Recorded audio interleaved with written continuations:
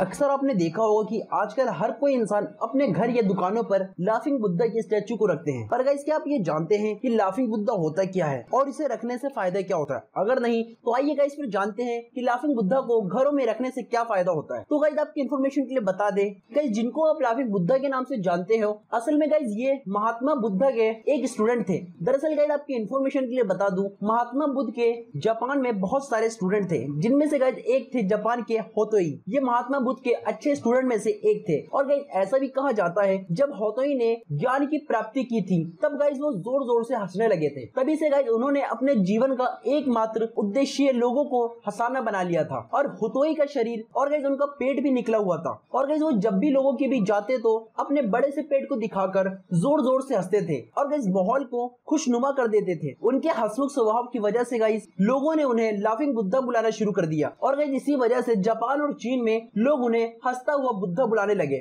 जिसे गाइस अंग्रेज़ी भाषा में लाफिंग बुद्धा कहा जाता है। और गाइस आपको ये भी बता दे, चीन और जापान के लोग उन्हें भगवान मानने लगे और उनकी मूर्ति को घर में रखने लगे। और गाइस आपकी इन्फॉर्मेशन के लिए भी बता दे, चीन में हुतोई को पुतई नाम से जाना जाता था। और गाइस इतना ही नहीं, उन्हें फेंग शुई का भगवान भी माना जाता था। और गाइस ऐसी भी मान्यता है कि जिस घर में लाफिंग बुद्धा की मूर्ति होती है, वहाँ गाइस सुख, समृद्धि और खुशहाली होती है। और गाइस नेगेटिव एनर्जी भी उस घर से कोसों दूरी रहती है। और अगर आपकी इन्फॉर्मेशन के लिए बता दूँ कि लाफिंग बुद्धा के स्टैचू 12 तरह के होते हैं। गाइज़ इन 12 तरह के स्टैचू के अलग अलग काम होते हैं। गाइज़ अगर आप इन 12 के 12 स्टैचू के बारे में जानना चाहते हैं कि कौन से स्टैचू क्या काम करते हैं और किस काम में आते हैं तो चैट सेक्शन में कमेंट करके ज़रूर बताएँ। मैं आप सभी के लिए एक स्पेशल सेपरेट वीडियो बना दूँगा। गाइज़ क्या इससे पहले आप अमेजिंग फैक्ट जानते थे तो चैट सेक्शन में ज़रूर लिखिएगा। और अगर वीडियो पसंद आई हो तो वीडियो को लाइक एंड शेयर ज़रूर करें। और ऐसे ही और अमेजिंग वीडियोस के लिए हमारे चैनल को सब्सक्राइब करें। मिलते हैं अगली वीडियो में।